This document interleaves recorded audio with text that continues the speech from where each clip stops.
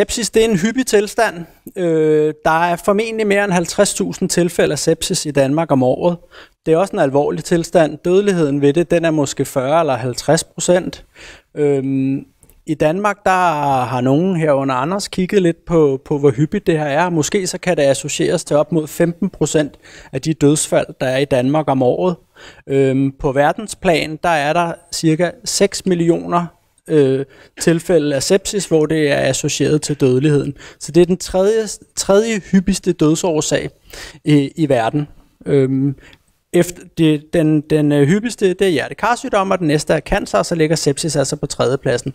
Så det er en hyppig tilstand og en alvorlig tilstand, og notorisk har det været vanskeligt, som vi har været inde på, at, at bedre prognosen for de her patienter. Man har igennem tiderne prøvet på mange forskellige måder at gøre det. Øh, blandt andet har man prøvet med en masse forskellige interventioner. Nogle interventioner de har været særdeles farverige, øh, nogle de har været baseret på fysiologiske principper, og nogle de har været øh, associeret på for eksempel dyreeksperimentelle forsøg eller måske observationelle data. Øhm, en del af de her interventioner, de har altså vist sig at skyde ved siden af. Øh, faktisk har langt hovedparten af dem nok vist sig at skyde ved siden af. Øh, jeg kunne nævne i flæng beta-blokker, aktiveret protein C, hypotermi, forskellige væsker, tidlig dialyse, sen dialyse osv. Så, så der er rigtig, rigtig mange eksempler på de her ting, der måske ikke lige øh, har ramt plet. Desværre så er der altså også nogle af de her ting, der, øh, der har gjort noget skidt for patienterne. Øhm, der er en del af de her interventioner, som man har, man har implementeret på baggrund af fornuftig fysiologisk viden, observationelle data og måske dyreeksperimentelle studier. Det har altså vist, at, øh, at det har skadet patienterne. Det her det er ikke et forslag til en ny slankekur eller noget, der minder om det. Det her det er tal fra et systematisk review, som i 2015 kiggede på intensive interventioner, og de fandt, at 8 ud af 15 interven, øh, intensive interventioner, som de havde, havde kigget på eller selekteret, de viste sig faktisk at øge dødeligheden for de her patienter. Øhm, og det er altså ting, som vi har gået og brugt i daglig klinisk praksis på intensiv afdeling. Så det er lidt bekymrende, synes jeg. Der har jo været mange farverige øh, forslag til, hvad man kan gøre. Vi har allerede berørt noget af det. Øh, blandt andet den her cocktail eller protokol her, som Paul Merrick han har foreslået. Øh, et lille squat C-vitamin, et øh, squat steroid, og så et squat tiamin, indsat på den her måde, i den her fine opskrift her, doseret 3-4 gange dagligt under intensivindlæggelsen, jamen øh, det viser sig faktisk at være et mirakel.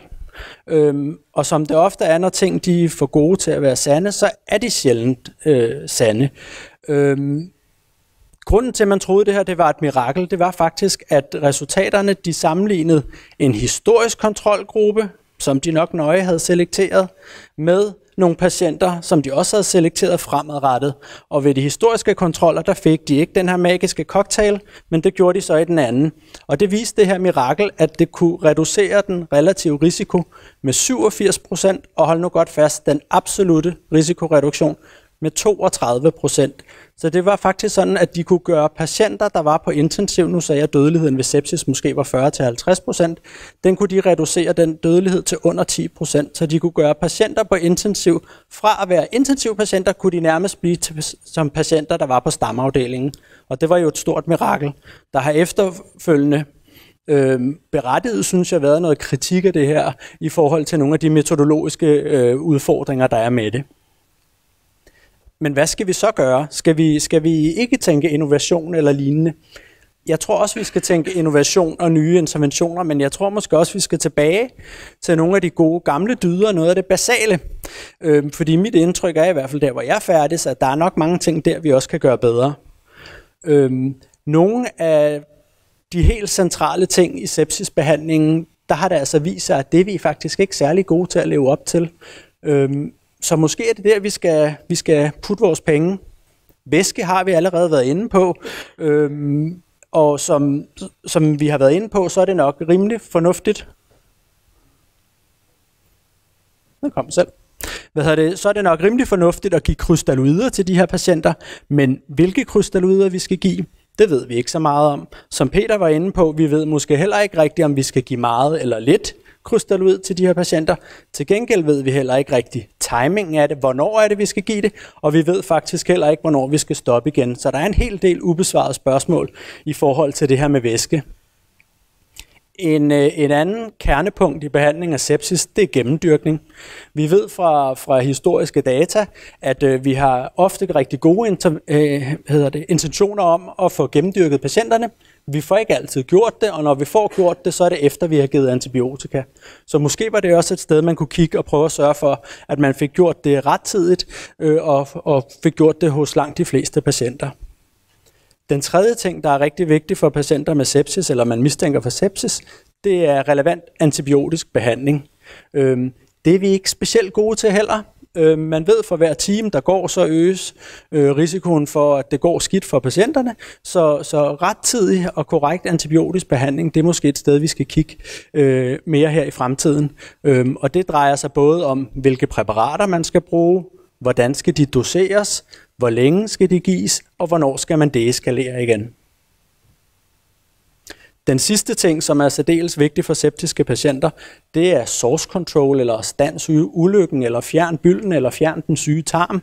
Der har man ligesom for antibiotikas vedkommende, der har man fundet, at for hver time, der går, der øges risikoen for, at det går skidt for de her patienter. Det har man fundet både for abdominalkirurgiske patienter, og man har også fundet det for eksempel for hoftefraktur hoftefrakturpatienter, hvor er nogen også når at udvikle øh, sepsis, inden de bliver indlagt med deres øh, fraktur. Så hvad skal vi så? Jamen, måske er det nogle mere jordnære ting, øh, vi så skal fokusere på, og ikke kun innovation. Øh, og en af de jordnære ting, man måske kunne fokusere på, det var bøfler. Øh, hvis nu man prøver at sørge for at gennemdyrke alle de her patienter adekvat, man sørger for at forebygge organsvigt herunder nyresvigt, man sørger for at give den rigtige væske til de rigtige patienter i den rigtige mængde på det rigtige tidspunkt, og så vigtigt, stop det igen. Så skal man sørge for at give det rigtige antibiotika, det skal man give hurtigt, og så skal man også sørge for at stoppe det igen, øh, når det ikke er indiceret mere. Så skal man nok monitorere sin behandling, blandt andet ved hjælp af kliniske parametre og laktat, og så som vi har været inde på, eller Olav har været inde på, så skal vi også finde den rigtige mængde af ild, vi skal give til de her patienter. Så altså frem for måske hele tiden at tale om den magiske kugle, eller den gyldne kugle, eller det helt moderne, som vi lige akkurat kan implementere, og så reducere dødeligheden øh, helt fantastisk ved sepsis, så er det måske nogle mere basale ting, øh, der skal til. Øh, klassiske dyder, basale ting. Tak.